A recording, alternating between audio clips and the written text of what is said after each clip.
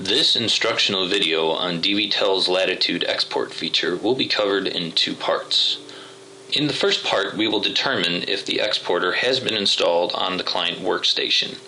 The exporter is an option that may not have been installed with the original software installation. This part will guide you through the installation of this feature. In the second part of this video, we will cover the features and use of the exporter in detail.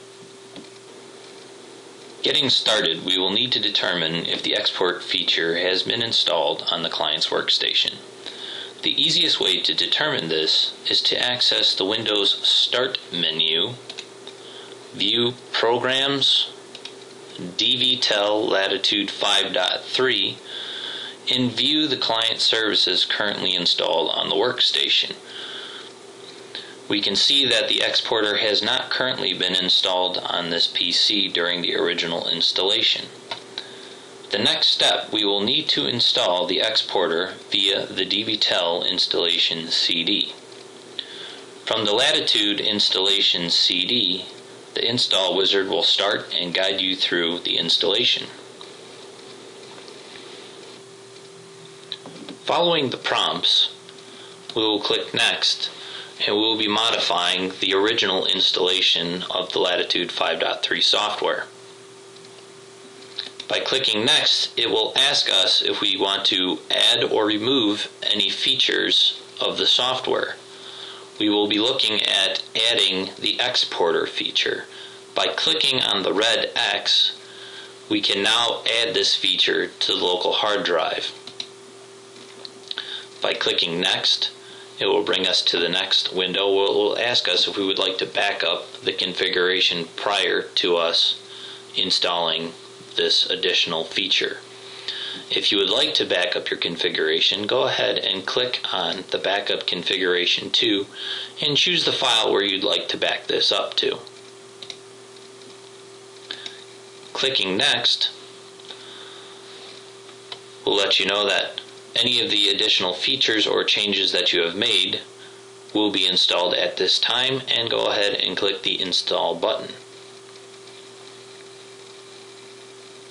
Once the installation has been complete, we will need to wait a few minutes for the services to restart and then we can launch the export feature. In part 2 of this training video, I will explain the features and use of the exporter. Let's take a moment to go over some background.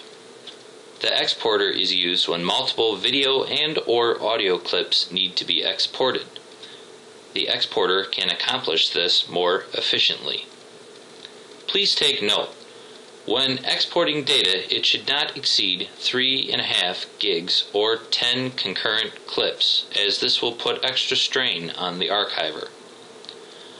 The exporter will export multiple clips to disk and or optionally burn them to a DVD or CD-ROM drive. Let's get started. Now that we have the exporter installed, launching the exporter may be done two ways. If the client's workstation has Admin Center installed, the exporter can be launched directly from this application by simply double clicking on Admin Center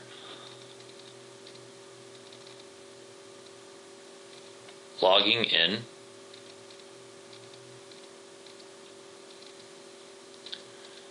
navigate on the sidebar down to the Applications tab and launch the exporter from this location. The second location that we can launch the exporter from is by simply accessing the Start menu under the Program files in DVTEL, Latitude 5.3, and finally the exporter.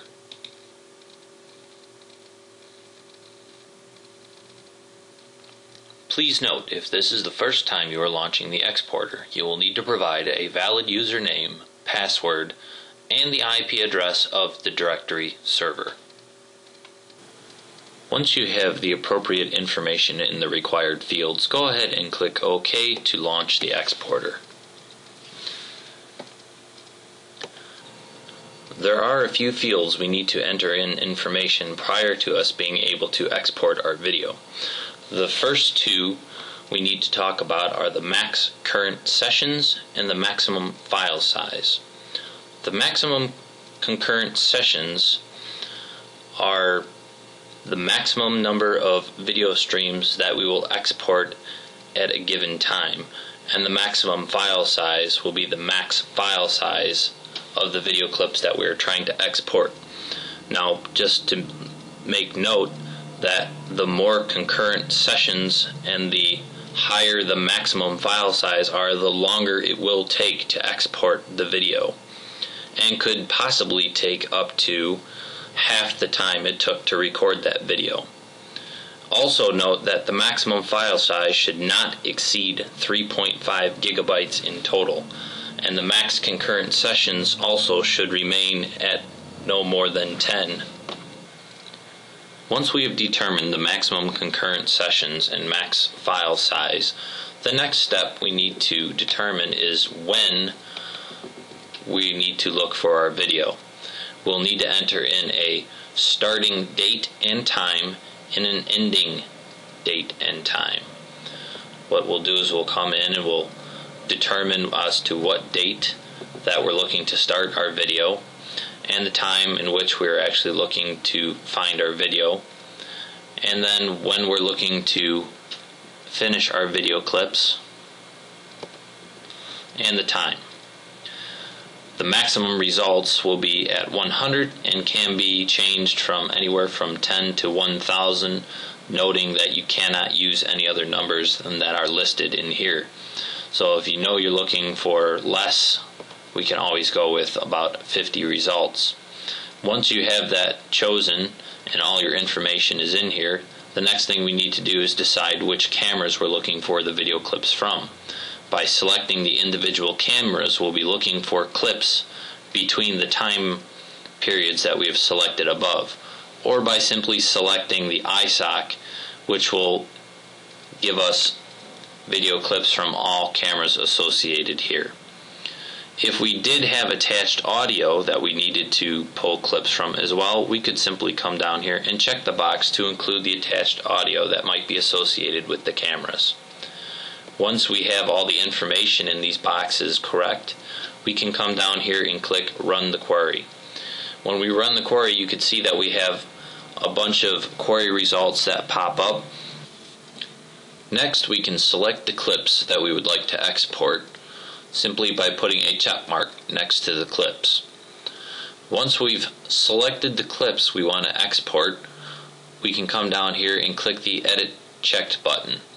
It'll populate a window asking us from what time we would like to export and to the end time we would like to export, just showing us the times that we have chosen from above we have a couple of options that we can change down here. The first being the format that we'll export these clips as. Default will be the DVTEL format. However, you can choose various other formats depending on how you'd like to use your video. Please note if you choose any other format other than DVTEL, the video once exported will not be watermarked and cannot be validated for authenticity. Once you've finished choosing your format, the last thing we need to do is select a target drive or DVD drive for our clips to be exported to. As default, it will simply default to the D drive or the C drive.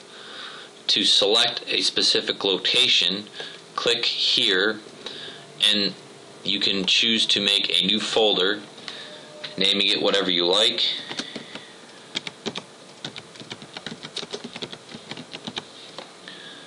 Selecting OK and OK once again will bring your export clips down to the lower section and they are now ready to be exported out. By selecting the export button, we'll begin the exporting process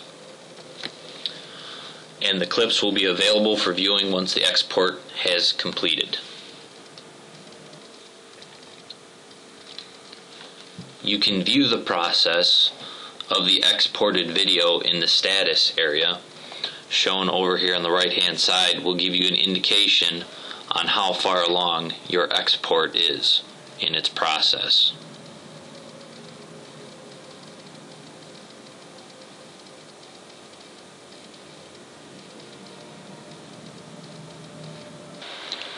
Once your clips have been exported, a dialog box will pop up stating that the export process has been completed and by clicking OK you'll just acknowledge that these files have been exported to the desired location that you selected earlier. We can go and view these files from our designated location and ensure that we have our clips available for use.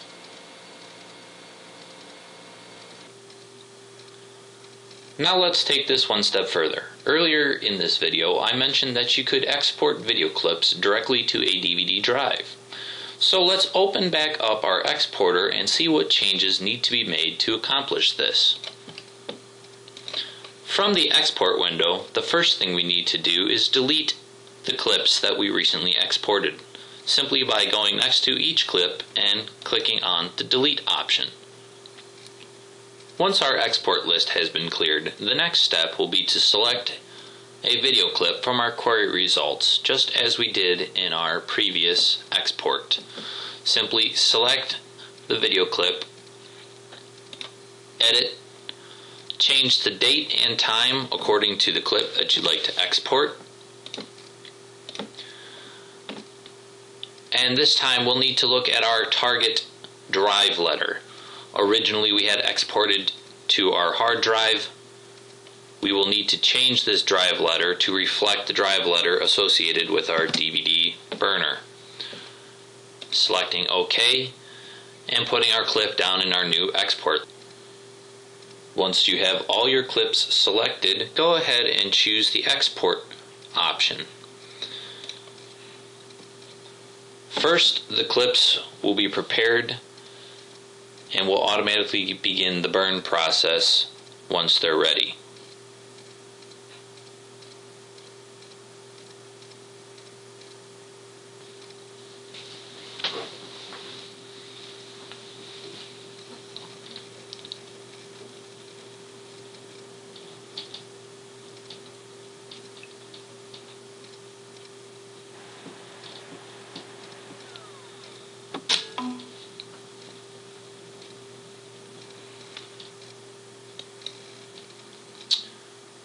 Once completed, this DVD can be viewed on any PC by simply inserting the DVD into the DVD drive.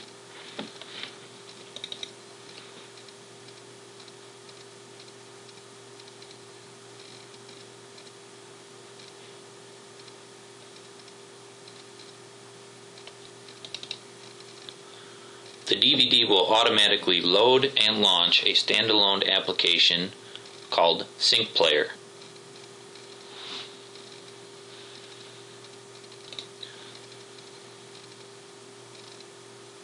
The clip you exported will be available for viewing by selecting the clip and clicking the Start button.